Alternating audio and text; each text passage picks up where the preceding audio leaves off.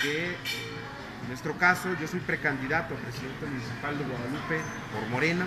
y ese carácter me permite, me obliga a venir y denunciar públicamente la necesidad de que Morena ponga mecanismos, eh, establezca filtros y que no se abran eh, a esta posibilidad. Voy a aterrizar mi comentario con lo siguiente. Hace algunos días se ha venido eh, generando un rumor de que un funcionario público del gobierno del estado vendrá a Morena, vendrá a instalarse como candidato de Morena. El día de ayer eh, hubo una conferencia de prensa en este mismo lugar y el coordinador de la segunda circunscripción de nuestro partido, Ricardo Monreal, y el propio dirigente estatal del partido, el profesor Fernando Arteaga, fueron muy enfáticos y dijeron que en Morena no habrá imposiciones, no habrá imposición de candidatos. Nosotros en lo particular en Guadalupe venimos el día de ayer y celebramos y aplaudimos que se dijera no va a haber imposición de candidatos en Morena.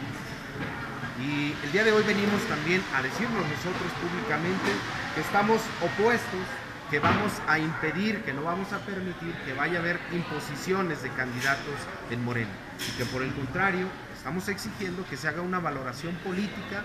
de los perfiles de las personas que al interior de Morena hemos estado trabajando, hemos estado de manera constante construyendo y edificando dentro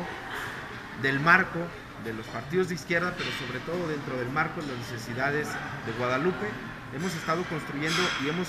y venimos a exigirles a la dirigencia estatal o a la instancia estatal que está procesando las decisiones de los partidos,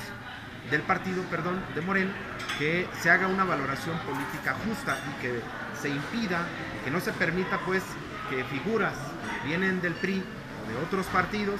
vengan a infiltrarse y vengan a constituir en un momento dado un caballo de Troya dentro del partido de Morena. Entonces,